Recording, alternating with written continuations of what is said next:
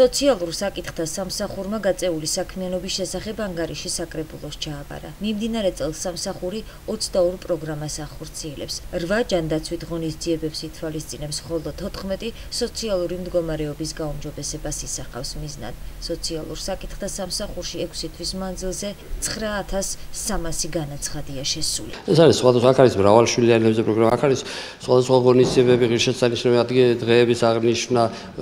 კურორტული never დასვენება ბევრი ბევრი საკითხია სხვადასხვა მარტო პროგრამა ბიუჯეტი არის 3 მილიონი 15400 და ამ 6 თვის განმავლობაში დახარჯულია 1.300.450 ამ სამსახურში კვლავ რჩება გამოწვევები ეს არის ის რომ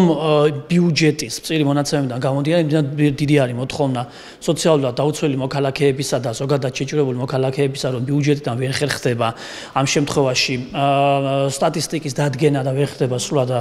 დახმარებების გაწევა და ასევე მეორე თხოვნა რაც იყო ჩვენი მხრიდან არის ის რომ სასრველია რომ უფრო მეტად მოხდეს ამ პროგრამების წარდგენა საზოგადოებაში იმიტომ რომ არიან მოწყვლადი ჯგუფები რომელსაც შესაძლოა არ ქონდეთ ინფორმაცია ამა თუ იმ პროგრამასთან დაკავშირებით